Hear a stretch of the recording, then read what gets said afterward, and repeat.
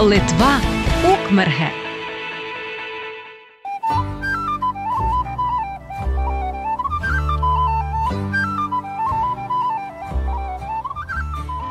Один з місцевих князів дуже любив полювати у цих місцях. Колись він потрапив у болото, злякався дуже і почав кликати на допомогу. А неподалік гуляла дівчина з вовками. Попросила вона вовків і врятували вони князя. І дав князь наказ збудувати тут місто і назвали його Вілкмерге. Мерге це дівчина, а Вілнас литовською вовки.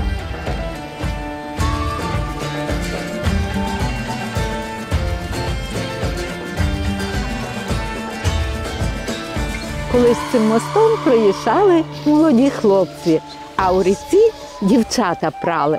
Красиві були. От хлопці захоплено і вигукнули Ух, Марге, ух, дівчата! Так і залишилася за містом нова назва.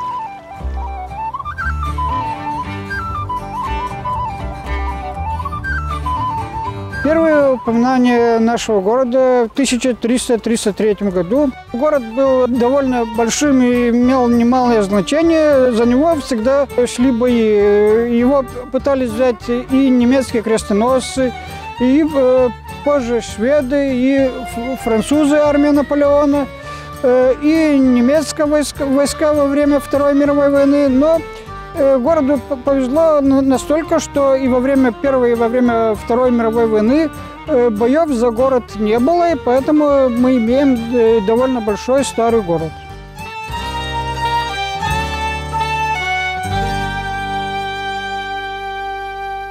А чи знаєте ви, як стати партизаном? Як і Україна, Литва мала своїх партизанів, боролися з комуністичним і нацистським режимом і тісно співпрацювали з українськими партизанами. Кажуть, деякі українські борці проти нацизму і комунізму навіть мали литовські паспорти. А матеріальна допомога українським побратимам навіть була прописана у литовському бюджеті. Кажуть, в куди ми зараз приїхали, і досі є литовські партизани. І ми вирішили познайомитися з лісовими братами. Ну як ми могли сюди не приїхати? Добрий день, Лабадена. Із Шкурбусім. А ми з України. Ну, лаби, лаби малону. Ви підвезете? Дякую.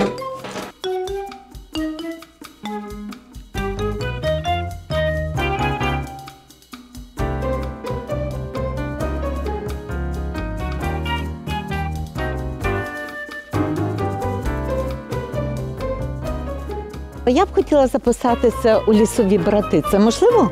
Ем, Гальма, гальма, за- усирощите посмішко бролюс, бятлаба. Стоп, стоп, стоп. А українською можете? По-українськи е, не очень много слов знаю. Я кохаю тебе, е, побачить, е, пошукать. Е. І я вчу литовську, але ще не багато слів знаю.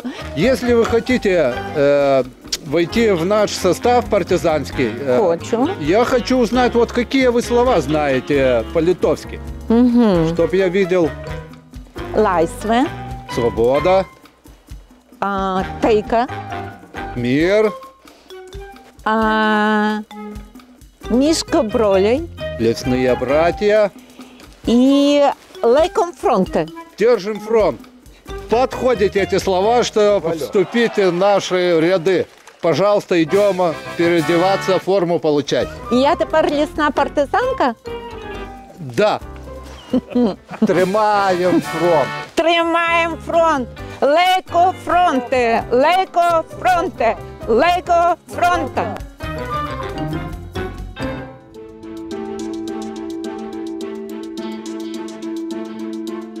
Бункерас. Да. Ще одне литовське слово.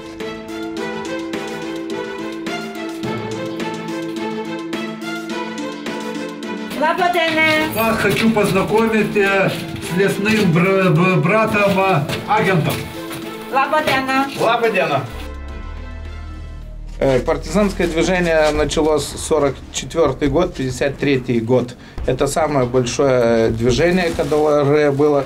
Началось из-за того, когда немцы отступали, приходила русская армия, и они делали очень большой беспредел. Люди увидели, что очень страшно, и все воруют, и, как говорится, в тюрьмы сажают, усадьбы сжигают. Ну, были много партизанских бригад, которые воевали очень сильно и очень глубоко внедрялись даже в советские кадры.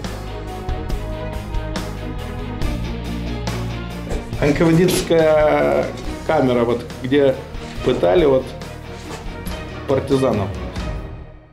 Якщо, наприклад, до вас е, приїдуть туристи з України, вони зможуть тут е, переночувати, і яку програму ви їм запропонуєте? Ну, какой? Вот э, как и вас встретили, проверяют документы, кто, откуда, зачем. Тогда идем на допрос. Делаем поход. Можно и 5 километров пройти э, с оружием по партизанским тропам. Привал, как говорится. Э, Может быть, там и банды НКВДистов тоже, может быть, встреча, э, может быть, и огневой рубеж. Вечером возвращаемся, тут э, бриф, как говорится, брифинг, э, обсуждаем, что сделали.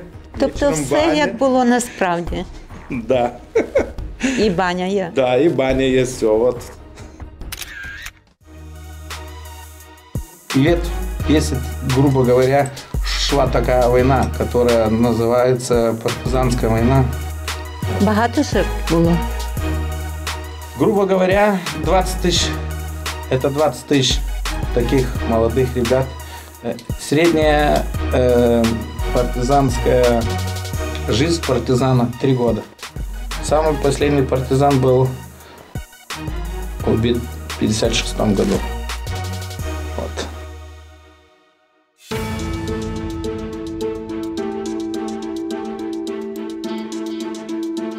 Бункер считался место дислокации партизанов, чтобы то время, которое уже неспокойное, когда, ну, как говорится, наверху, э, можно выйти, то тут переждать, переночевать.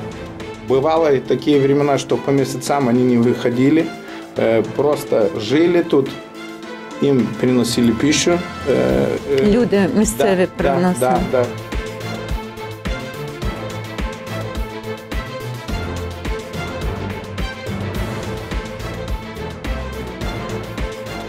Вот эта вот машина, которую, вот говорю, создал наш один партизан с отцом в гараже маленьком.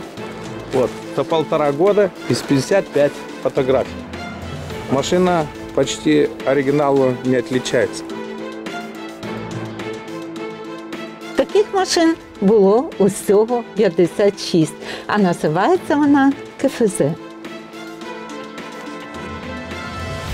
Ви тут живете? Ну вот мы тут, тут сделали такой клуб «Лесные братья», чтобы показать молодежи и чтобы не забыть память этим партизанам, которые отдали э, своей жизни за Литву, без которых этой Литвы сегодня точно не было. Тримаємо фронт! Це програма Континент. А чи знаєте ви, про що розповідає Литовський дуб? Когда езжаешь по Литве, мы видим исторические местные проживания. М, Видим э, новые села, новые местности, которые были построены в советские времена для колхоза. Но одно очень важное виден на полях это, это исторические дубы. И дубы для нас, э, они очень важная индикация, потому что по балтийской культуре дуб очень важное дерево, которое садили около местности проживания. И несмотря на то, что режим был один, второй, снесли дома, снесли хуторы, но многие дубы еще остались.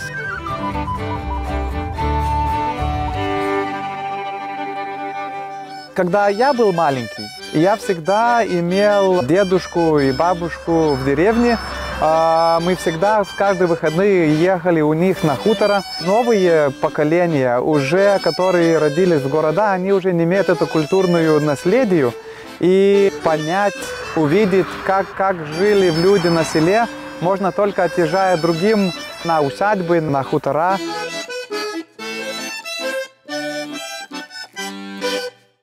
А чи знаєте ви, що таке шакотіс? Крутим постоянно, крутим.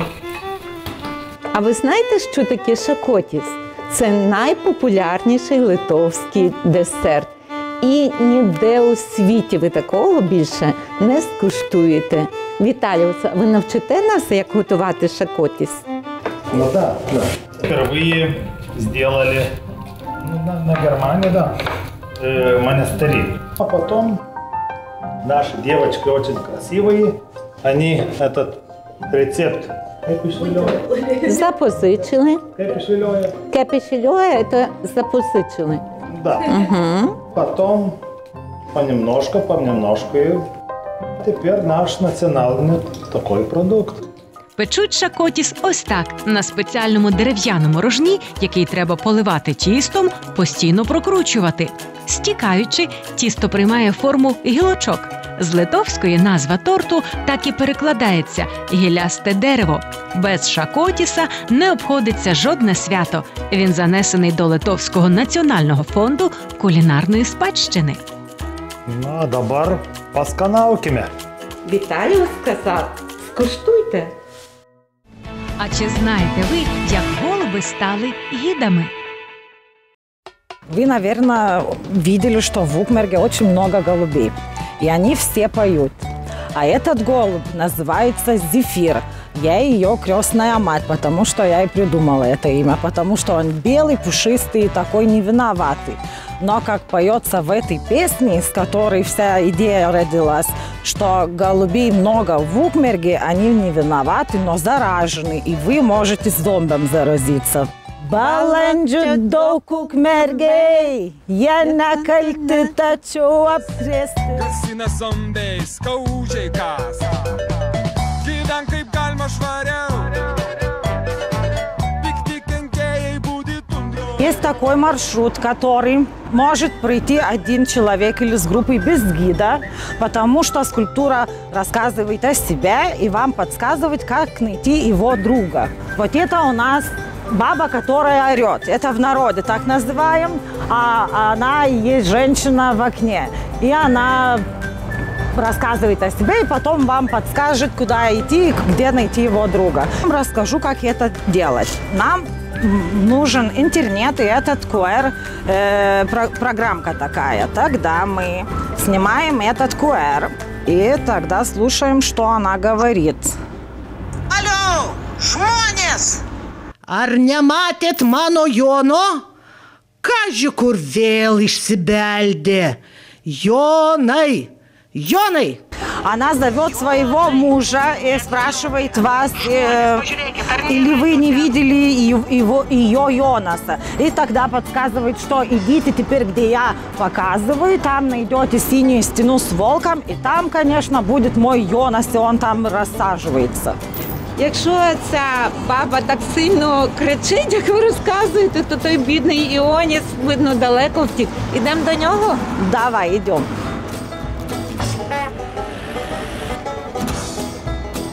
А це вже інший голуб. А это наши голуби, да, чугунные. Но он поет уже другую песню. Я вам покажу, какую, хорошо?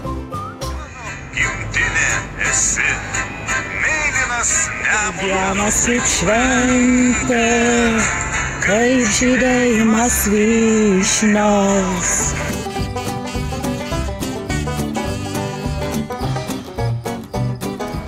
Вовка то ми знайшли, а Іоніса нема.